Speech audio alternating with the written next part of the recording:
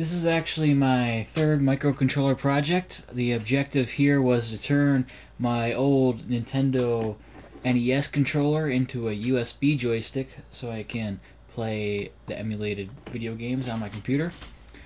Um, here's what it looks like on the breadboard. It all looks a little bit confusing, uh, but we'll get to the to the drawing a little, little bit later and try to work out what all this does.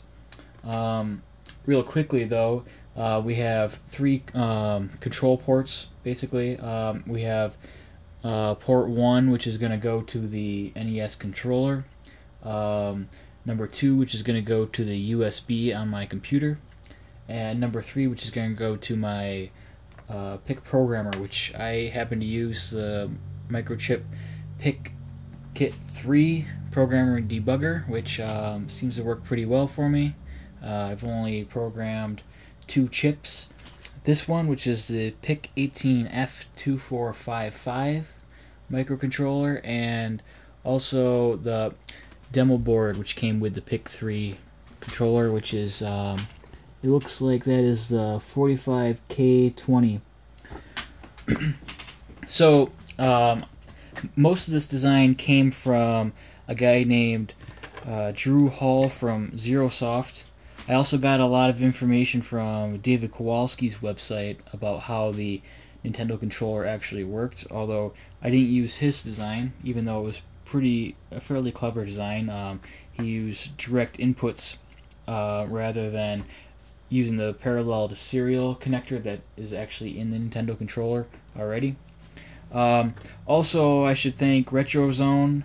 Um, Drew Hall's design looks suspiciously like theirs. I don't know who took it from who, but um, thanks to both of them, um, I did end up using Drew Hall's uh, open source software uh, to run this, so um, that is pretty much the backbone of the entire thing. Um, so I made a few changes from, from his design just because I didn't have some of the parts. I used this uh, two port ceramic resonator rather than his three port in his design. Um, and what you have to do is just use these uh, ceramic capacitors to ground on the outside in order to give stability to the to the resonator. um, that's a big modification, I guess. Um, the biggest, anyway. Uh, so far, I just have the NES controller hooked up from the end of the cord, uh, like this, and eventually this will all go inside the controller itself. Um, this whole port right here will be just gotten rid of. Um, these will be connected directly to the chip, and the USB um, section will also be connected right to the chip, and that'll get rid of most of the bulk of these wires. So hopefully it'll all fit inside when I'm done. Um, I may have to trade in these guys for the three-port uh, resonator just because it's smaller and of course I'm going to need a, a, different capacitor besides this one. I just use this Decade capacitor because it's it's so handy. and um, let's take a look at the at the at the design and at the drawing. Um, I, I was having some trouble looking at um, the layout from ZeroSoft, which is it looks like looks like this. Um, and this is for a PCB board, so I did not use his PCB board that so I had to, I just redrew it so I could see it a little better. um, let me make sure you can see that on the screen.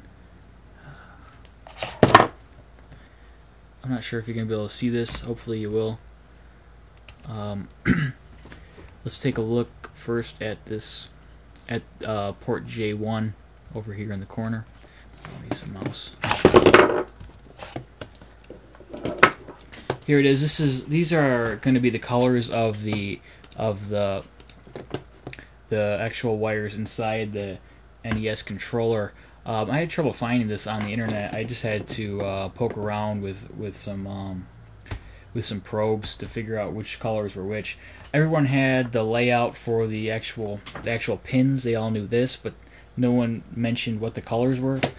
So here they are. Um, white is your voltage, yellow is going to be your data, red is going to be your clock, orange is latch, and brown is ground. Um, before I actually uh, tested these, I was obviously trying to get red to be voltage, and I was having a lot of trouble with that. So it's not; it is clock, and not not your voltage. Um, so your data line is going to go into pin two of your microcontroller. The clock data, the clock is going to go into pin three. The latch is going to go into pin four, and your ground obviously is going to go to ground. You can connect pin 8 here if you want. Um, obviously, your grounds can be connected anywhere. They just have to all touch in the end. Um, the voltage is going to come from from your USB or your programmer, so um, that'll that's going to branch off and and uh, probably meet up around around here somewhere or wherever. Um, let's take a look at at port two, I guess. Um, here it is for the USB. Um, these these wire colors are all standard. I, I looked them up on Wikipedia. Or you can go to the USB website to figure out what colors they are, or just look here, I guess. Uh, red is your is your hotline, the voltage uh, VCC. White is your D minus line. It's going to go to pin 15 of the microcontroller. Um, green is your D plus. It's going to go to pin 16 of your microcontroller.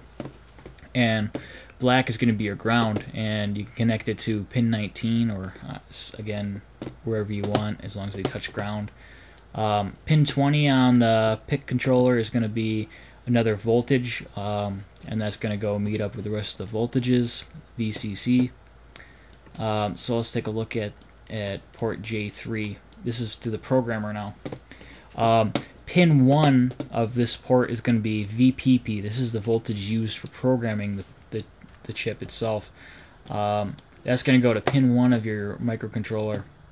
and it's not going to connect to the VCCs. You're going to have a separate VCC coming out of the programmer. And that's going to go to meet up with the rest of the VCCs. Um, you can have a ground line coming out of out of your programmer. Uh, it's going to go meet up with other grounds. And your programming lines, PGD, which goes to uh, port 28, and PGC, which goes to port 27. Now, I have no idea what color um, wires you're going to use, so I just numbered them here. Uh, 1, 2, 3, 4, 5, and 6.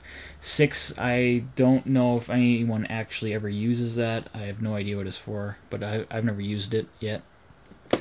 Um, one thing to note, you probably don't ever want to have your USB J2 connected while you have uh, your programmer J3 connected. I was having a lot of problems with that earlier. Um, don't do it because you're going to have some competing voltage lines. Uh, so something to avoid.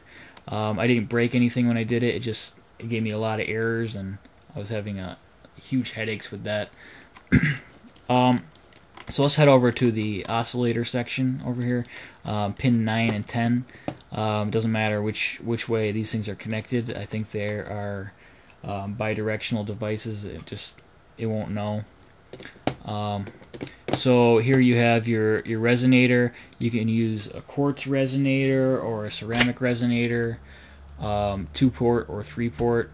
Uh, the three port obviously is the easiest and it's um, smaller because it has these capacitors inside of it. Um, but if you do not have a three port um, resonator, uh, you're going to have to have some sort of capacitance on the outside to add stability to it. Um, you want to be around the 40 picofarad range, I believe. This is all in the in the PIC data sheet. It might actually be a little bit lower than that. I'm actually using 100 picofarads per capacitor, which it seems to work out pretty well. Um, the downside is supposed supposedly a slower startup, which I haven't noticed a slow startup at all, so I seem to be okay with that. And then um, that goes to ground after that. After that, so um, there it is. Um, the reason why I, I happen to use um, capacitors in the, and this resonator, I just got them out of some other equipment that I don't use anymore. I, I think I took one out of um, one of the resonators out of a telephone or something, like an old portable telephone. So that's why I kind of changed parts a bit. uh, let's see, what's next?